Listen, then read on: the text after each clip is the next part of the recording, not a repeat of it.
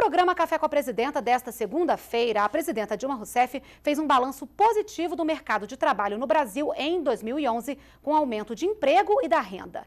Dilma destacou que os setores de serviços, comércio e da construção civil foram os que mais geraram emprego. Ela disse ainda que o Pronatec, o Programa Nacional de Acesso ao Ensino Técnico e ao Emprego, vai oferecer mais de um milhão de vagas para cursos técnicos.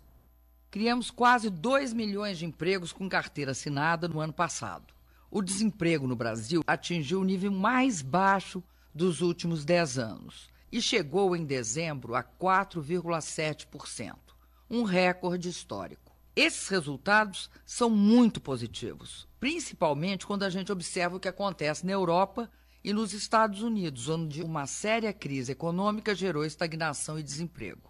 No Brasil, conseguimos aumentar as contratações e a renda dos trabalhadores.